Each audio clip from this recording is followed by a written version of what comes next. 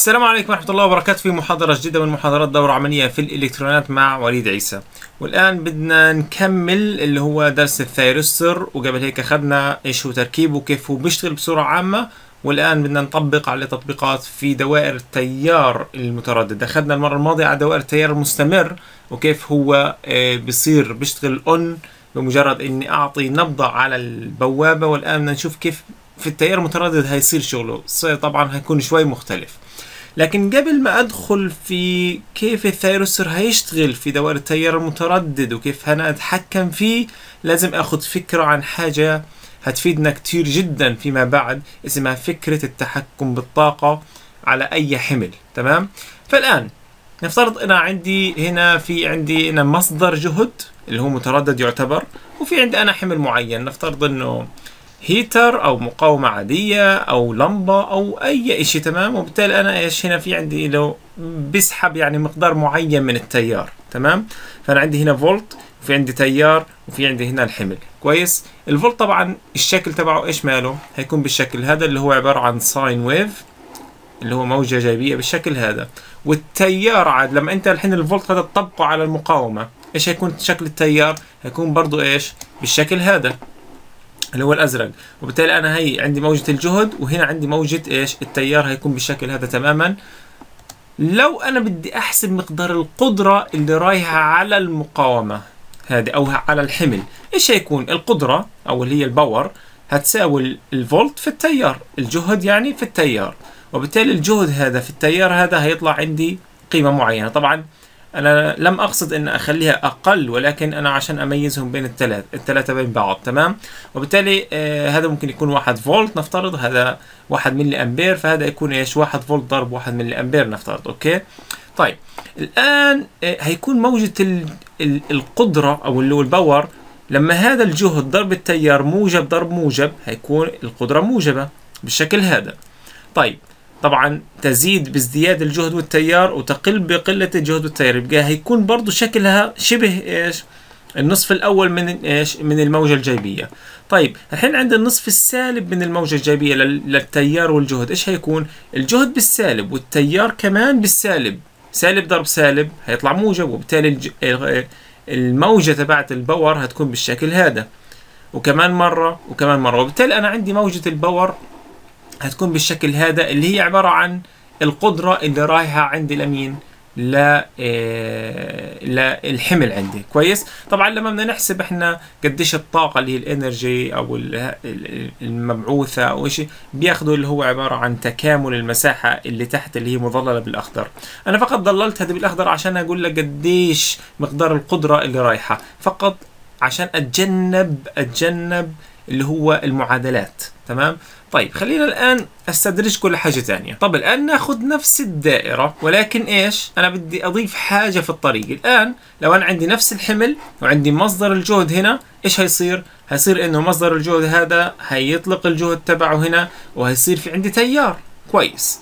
لكن أنا لو وضعت في مكان هذا المنطقة مثلا حاجة اسمها دائرة مثلا ثانية أو عنصر بيعمل على تقطيع التيار هذا. شو يعني تقطيع التيار؟ لقيتها نشوف بالرسمة. هذا الآن الجهد يعني هو مصدر للجهد تمام؟ ولكن التيار مين بيحدده؟ التيار بيحدده هو الحمل. نفترض والتيار ماشي راح إيش؟ في عندي دائرة قاعدة تتقطع فيه. تاخذ جزء منه كويس؟ تاخذ جزء منه طبعا إنه تقطعه يعني ما توصله. يعني توصل جزء من التيار وتقطع جزء من التيار. يعني نفترض كمثال عليها يكون الشكل هذا. أنا الشكل المفترض إنه يمشي التيار اللي هو الجزء المقطع هذا شايفينه هذا هو المفترض إنه يمشي. ولكن عشان حطيت عنصر يقطع لي التيار فصار مثلا مثلا اللي هو شكل التيار بالشكل هذا. هيك؟ وعندي يعني عندي في جزء من الم... من التيار اتصفر صار صفر والجزء الآخر تم يعني إخراجه بشكل طبيعي. جزء اتصفر وجزء تم إخراجه بشكل طبيعي. إيش هيكون القدرة؟ هتكون موجة القدرة اضرب. هذا الجهد له قيمة ولكن التيار ما له قيمة وبالتالي إيش هيكون؟ أي قيمة؟ ضرب صفر إيش هيكون صفر؟ وبالتالي هيبدأ القدرة تقريبا إيش؟ من عند هذه المنطقة اللي هو عندك موجب في موجب هيطلع عندي هنا الشكل تمام؟ وهنا موجب أو سالب في سالب هيطلع عندي هنا موجب بالشكل هذا. وبالتالي الآن عندي صار تقطيع لجزء من التيار. صار نتج عنه تقطيع لمقدار الطاقة اللي رايحة على إيش؟ على الحمل هذا. وبالتالي أنا صار عندي مقدار الطاقة أقل من الحالة السابقة. كويس؟ وبالتالي طبعا قضية مقطع. مقطع التيار هذا وايش وإيش الدائرة؟ بعدين نتعرف على الحاجات هذه. ولكن أنا بدي الفكرة الآن. تمام. لو أنا الآن مقطع التيار هذا برضه خليته يقطع لي جزء أكبر من التيار إيش هيكون ال... ال... القدرة؟ هتكون طبعا مقطوعة بشكل أكبر كويس؟ وبالتالي صار عندي أنا تحكم في مقدار القدرة ومقدار التيار اللي رايح لمين؟ للحمل عن طريق تقطيع جزء من موجة التيار عن طريق تقطيع جزء من موجة التيار. خلينا نحط الثلاثة مع بعض. الآن هي عندي أنا إيش؟ الدائرة وهي مقطع التيار. نفترض مقطع التيار في الحالة الأولى ما قطعليش التيار بتاتا وبالتالي عندي موجة الجهد والتيار والقدرة بالشكل هذا. لما تكون القدرة بالشكل هذا إيش بقول؟ بقول إنه وصل الحمل 100% من القدرة المبعوثة. نفترض إنه آه، آه، يعني الحمل محتاج مثلا آه، واحد كيلو واط وبالتالي أنا عندي صار هنا إيش؟ واحد كيلو واط اللي هو 100% من الواحد كيلو واط تمام. لكن لما أنا صرت حطيت هنا عنصر والعنصر هذا عامل لي على تقطيع جزء من التيار من موجة التيار صار طبعا تقطيع للقدرة. كويس؟ وبالتالي هذا نفترض انه والله صار تقطيع بنسبة 75% كويس. وبالتالي هنا نسبة القدرة اللي رايحة 100% هنا نسبة القدرة اللي رايحة 75% وهنا احتمال تكون 25% تمام؟ وبالتالي أنا صار عندي آه، فكرة عن إنه أوكي معناته أنا لو حطيت هنا عنصر يقطع لي موجة التيار تمام؟ طبعا موجة الجهد لا يمكن تقطيعها آه، لأنها صادرة من هنا ولكن أنت بتقطع من التيار اللي ماشي وين؟ في السلك طيب لو أنا عملت دائره أو جبت عنصر يعمل لي على تقطيع جزء من التيار معناته بيعطيني آه، قدرة على التحكم في مقدار التيار اللي رايح على الحمل وبالتالي أنا بقدر ممكن أتحكم في مقدار القدرة اللي رايحة. نفترض هذا الحمل عبارة عن لمبة وبالتالي أنا لما أتحكم في مقدار التقطيع هذا مثلا قطعته بشكل 75% أو 25% معناته اللمبة هتصير تضوي عندي ب اللي هو مقدار الإضاءة تبعتها هيكون 75% أو 25% حسب قديش أنا بقطع من التيار. لو كان سرعة مح... لو كان محرك أتحكم في سرعته عن طريق تقطيع جزء من التيار كويس؟ وبالتالي أنا صار عندي فكرة إنه أوكي لو وضعنا هنا عنصر أنا بيعطيني آه، خاصية جديدة إنه ممكن أنا أتحكم بمقدار التيار اللي رايح. طيب. هذا طبعا النوع من التحكم بسموه phase angle control phase angle control ليش؟ لأنه أنا الآن نفترض هاي كل موجة التيار لو أنا قطعت منها جزء صغير هذا الجزء الصغير بسموه هنا كأنك أنت عملت إيش؟ تقطيع لجزء معين من ال من ال من موجة التيار فبسموها ال phase يعني أنت قصيت جزء معين من ال phase أو يعني مش زي shift ما عملت لهاش أنت shift ولكن قطعت منها تمام؟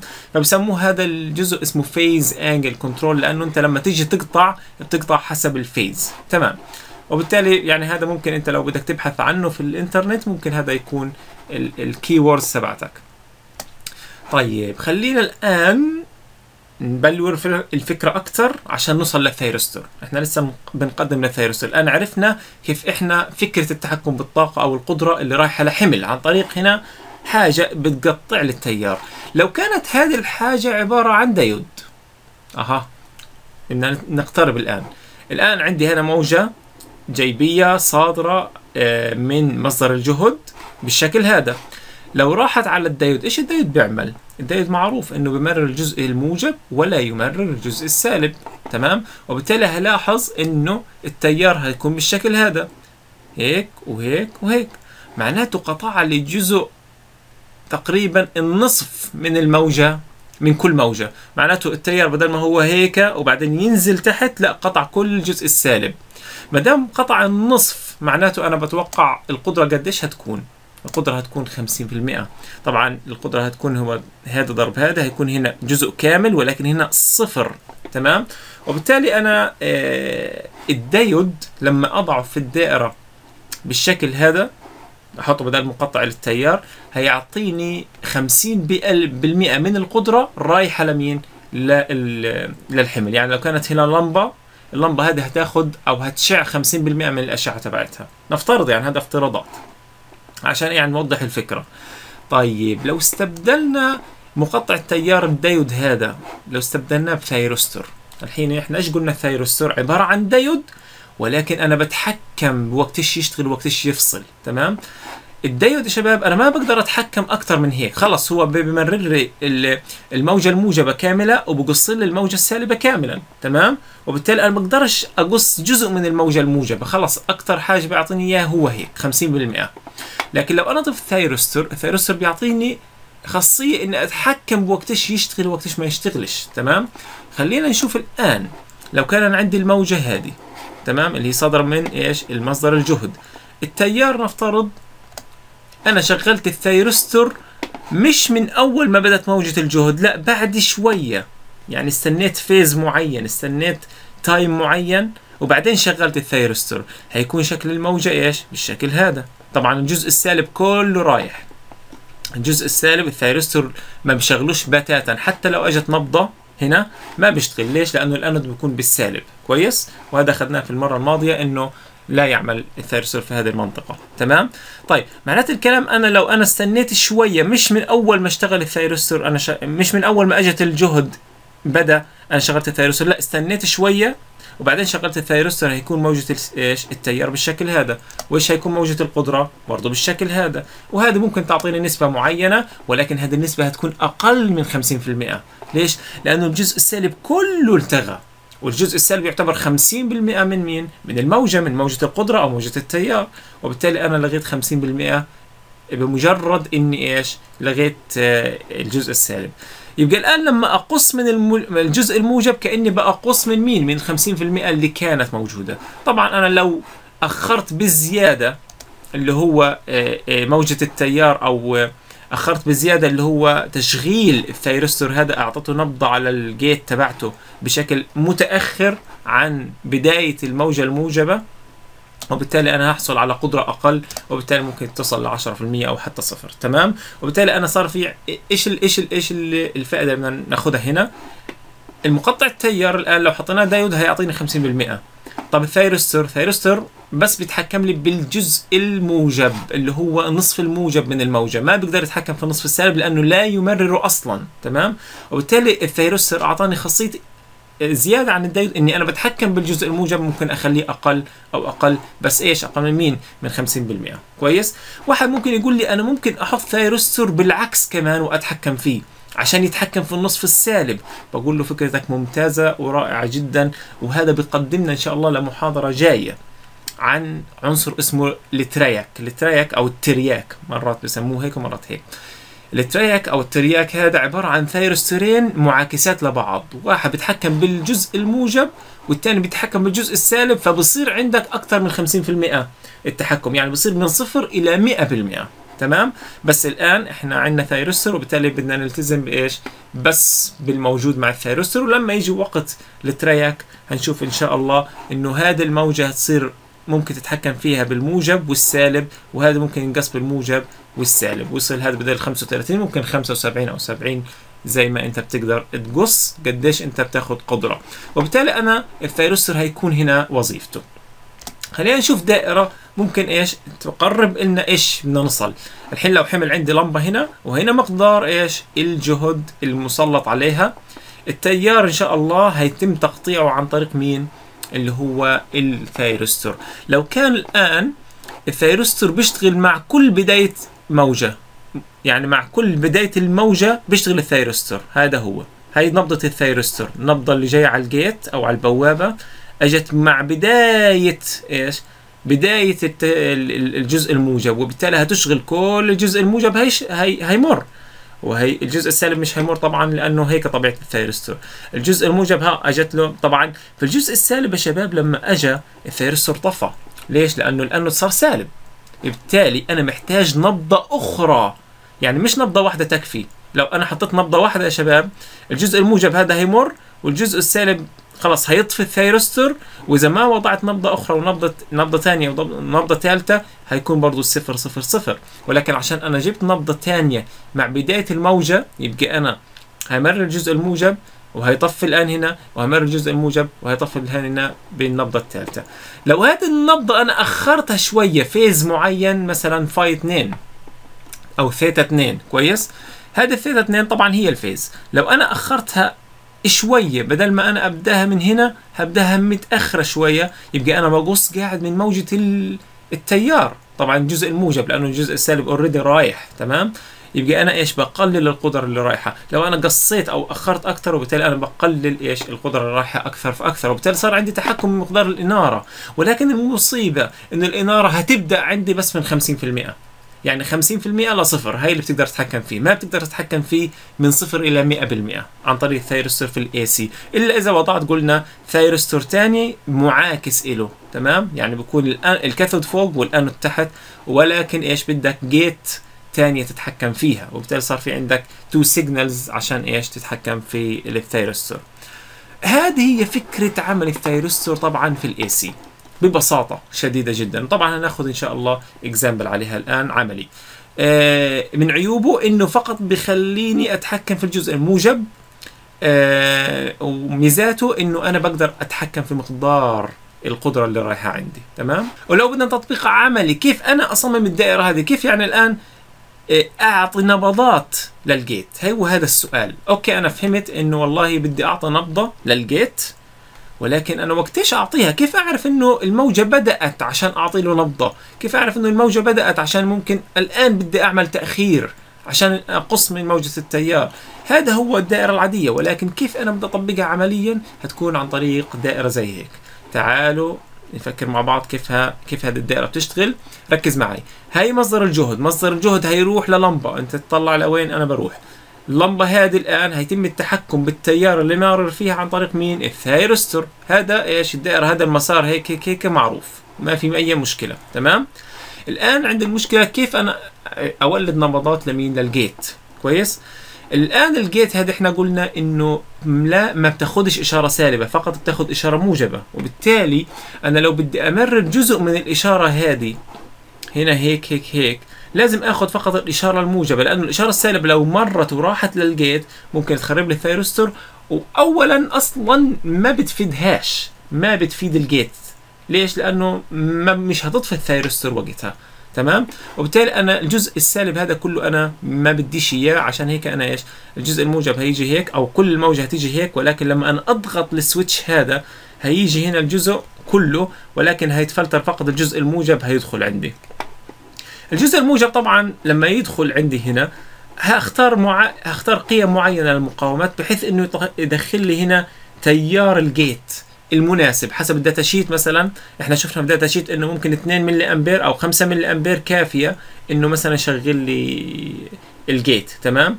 آه وهنا الجهد مثلا 0.6 أو 0.8 أو 1 فولت لازم يكون. فأنا بختار قيم المقاومات هذه بحيث إنه يكون هنا إيش؟ قيمة معينة تفيدني لتشغيل مين الثيرستور كويس؟ وبالتالي أنا الجزء الموجب فقط هو اللي هيدخل. من أول ما يبدأ الجزء الموجب هيجي هنا طبعا وهي هيتقسم وهيدخل على الثيرستور ويعطي نفس النبضة. يعني النبضة هنا يتم توليدها تماما مع بداية الجزء الموجب. هنا. ليش؟ لأنه ما فيش أي عملية تأخير. على طول من أول ما تيجي النبضة الموجبة هيك هيك, هتتقسم وهتدخل. فيش عمليات تأخير للايش للنبضه وبالتالي هتدخل هنا هيك النبضة على طول مع بداية إيش؟ الموجة. وبالتالي قديش هتكون الاضاءه هنا؟ هتكون 50% هتكون 50% لو أنا بدي أعمل عمليات تأخير معناته أنا بدي إيش؟ أحط بدل هذا المقاومة هحط إيش؟ كاباسيتور. مكثف. المكثف طبعا لما أنت تبدأ الجزء الموجب هيجي الجزء الموجب هنا. تمام؟ وهيلاقي مقاومة ولكن مش هيروح على ال trigger يعني مش هيعمل آه تشغيل للثيرستور لسه في عنده مكثف بده يعمل عملية شحن له وقديش مقدار عملية الشحن هتاخذ وقت قديش هيتم التأخير. هو هذه إيش؟ الفكرة. وطبعا طبعا في دوائر متقدمة أكثر من هيك ولكن إحنا بنحكي ببساطة كيف ممكن تكون عملية التأخير ممكن نحط هنا مكثف فبتصير عملية التأخير. تمام؟ إحنا نشوف هذه الدائرة عمليا ونشوف كيف إحنا ممكن إيش نتحكم ب أو نشوف الإضاءة تبعتنا وهنشوف كيف نطبق هذه الدائرة. طبعا بالنسبة للجزء العملي لل thyristor الآن في دوائر ال AC في عندنا الدائرة هذه أنا ركبتها. آه هي عبارة عن مصدر لل AC 230 فولت. طبعا عندنا ممكن تصل ل 240 كمان. وفي عندي أنا ال load. ال load هو عبارة عن لمبة بتشتغل على 230 فولت هذه. وطبعا في عندنا ال thyristor اللي هو BT 151 والدائرة هاي المسار تبعها تمام؟ طيب الآن ال gate من وين هتاخد الإشارة تبعتها؟ في عندي أنا قلنا هنحط دايود عشان بس يدخل لي الإشارة الموجبة. الدايود عبارة عن واحد N 4001 وبعدين هتروح على مقاومتين واحدة ثابتة قيمتها 60 كيلو وواحدة متغيرة اللي هي هذه تمام؟ قيمتها 50 كيلو كويس؟ طبعا المتغيرة في لها ثلاث أطراف. ناخذ طرف مع الوسطاني الطرف من الأطراف الجانبية مع الطرف الوسطاني ونترك إيش؟ الثالث. طبعا الثالث هو اللي إيش؟ بده حسب ما يتغير هو هيعطي إيش؟ جهد وتيار لمين؟ لل gate. طبعا قبل ما تروح على ال gate في عندي أنا هنا اللي هو مكثف حوالي 16 مايكرو فراد طبعا ما لقيتش أنا 16 مايكرو فراد بالضبط عندي فأنا حطيت هنا 47 مايكرو 47 مايكرو 47 مايكرو فراد الثلاثه على التوالي. فإحنا بنعرف ثلاث مكثفات على التوالي 47 مايكرو بيطلع إيش؟ بيطلع آه نتيجة المحصلة تبعتهم اللي هو 47 مايكرو على الثلاثة على ثلاثة فبيطلع عندي تقريبا 15.6 يمكن فهي عبارة عن 16 مايكرو تقريبا. آه طيب الآن نختبر هذه الدائرة ونشوف هل المقاومة متغيرة الآن لما أغيرها بيزيد وبقل ال voltage حوالين اللمبة اللي هذه وهل بتزيد وبتقل إضاءتها؟ وقديش ال range اللي إحنا إيش بنشتغل فيه؟ إحنا قلنا تقريبا عشان إحنا thyristor وبس بمر الموجة الموجبة فتقريبا هنشوف نص ال power أو هنشوف نص ال voltage على مين؟ على اللمبة اللي هي نص مين؟ نص ال 230 الحين هنشوف الموضوع هذا. طيب الآن في عندي أنا كل هذه ال component أنا عاد وصلتها مش هنقعد نوصلها مرة ثانية وحاولت أعمل تثبيت لل high voltage فهذا هو ال 220 فولتج عندي. كويس. وهذا الفولت ميتر هيقيس الجهد حوالين مين؟ حوالين اللمبة. بس حوالين اللمبة هيقيس الجهد تمام؟ فهي هذه عندي اللمبة. والآن بدي أشغل ونشوف الإضاءة كيف. طبعا الآن هي انشغلت. المقاومة محطوطة على أعلى قيمة إلها تمام؟ أعلى قيمة إلها معناته تكون هي ال 50 كيلو زائد 60 كيلو تمام؟ فهذا أعلى قيمة إلها. بعدين الآن بدي أبدأ أقللها شوية شوية شوية شوية. وهنشوف كيف هيبدأ هذا إيش؟ يضوي وحتى هتلاقي إيش؟ القراءة هنا على إيش؟ على المالتي ميتر نشوف الآن. أه بدأت الآن. طبعا قللتها ولكن أنا بقللها ببطء شديد جدا جدا. نرجع من أول ها؟ الحين بدي أبدأ أزودها. هاي اللمبة إيش؟ بدها آه بدأت الآن تشعل. يمكن ملاحظين في الكاميرا. ها؟ بزود أنا قاعد. بتزيد الفولتج وبزيد الإضاءة. يعني قاعد أنا كأني بعمل فولتج متغير برضو. ولكن شكل الموجة طبعا هيكون مختلف. طيب الآن هي الجهد قاعد بز... الإضاءة قاعد بتزيد والجهد برضو قاعد بيزيد. هي قاعد أنا بغير فيها لحد نشوف آخر إشي. هي آخر إشي تمام؟ آخر إشي طلع معي هنا تقريبا طلع هنا 120 فولت. ال 120 فولت تقريبا تقريبا نص مين نص ال 230 فولت. 230 أو ال 240 فولت إذا كانت اللي هو الجهد العام 240 فبطلع عندي 120 فولت بالضبط اللي هو تقريبا مشابه لإيش؟ لهذا. فالآن فقط نص ال power رايحة وين؟ على اللمبة هذه وهي إيش؟ نص ال current طبعا ونص الإضاءة هتكون. فهذه عبارة عن نص الإضاءة العامة اللي هتكون لو أنا حطيت عليها 240 فولت. والآن قاعد أنا بقلل وهي قاعد بيقل أو بزود المقاومة فبتقل هنا إيش؟ هي قاعد كانه عملت أنا زي dimmer صغير ولكن دمر متوسط القدرة. تمام؟ هي هيك إيش؟ أكثر ما يمكن. الآن بزود بيبدأ يزيد. تمام؟ لو كان في عندي لمبة نوع مختلف هتلاحظ إنه بيبدأ من الصفر و 10 20 30 مش هتلاحظ إنه نط على الأربعين مباشرة. ليش؟ لأنه اللمبة يمكن ما بتسمح بمرور التيار إلا إذا كان عليها 40 ولكن يمكن لمبة تانية أو نوع آخر من اللود أو مقاومة عادية يبدأ بتسحب من الصفر. طبعا هي الآن بدأت شوف الآن بدأت أوكي.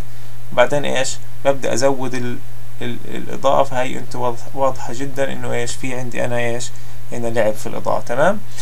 آه في ممكن تعمل فكرة أخرى يعني عليها. أنت الآن لو جبت بدل اللمبة هذه لو شلتها وخطرت على بالي بس وانت بدي اترك الأمر لكم انكم تعملوها. لو شلت هذه اللمبة وحطيت قنطرة اللي هو آه، أربع ديودات اللي هي بتحول من DC ل AC من اي سي لدي سي فأنت لو حطيت هنا قنطرة وبعدها مكثف كبير فتلاحظ إنه صار عندك زي كأنك DC voltage source DC voltage source ممكن تغيره متغير طبعا من صفر إلى 120 فولت. تمام؟ فالحين هذه فكرة ممكن تطبقها. هيكون عندك DC voltage source من صفر إلى 100 120 فولت فقط إيش؟ بوضع هنا إيش؟ قنطرة وإيش؟ ومكثف كبير جدا. وبالتالي أنت إيش؟ هتتحكم في ال AC ولكن هيطلع عندك إيش؟ DC متغير. وهذه إيش؟ طبعا ممكن دائرة ثانية أنت ممكن تعملها. هتركها لكم. ممكن عدد ال DC هات تتحكم فيه بموتور بأي حاجة ثانية فالآن هاي هذا التجربة العملية لل thyristor في ال AC إن شاء الله تكونوا استمتعتوا في هذه المحاضرة آه، عن ال thyristor وكيف يتم تطبيق آه، اللي هو مبدأ إنه أتحكم بال phase عشان أتحكم بإضاءة أو سرعة محرك وكيف يتم استعمال ال thyristor في دوائر التيار المتردد. وإن شاء الله تكون عجبكم اعملوا like comment و share. والسلام عليكم ورحمة الله وبركاته.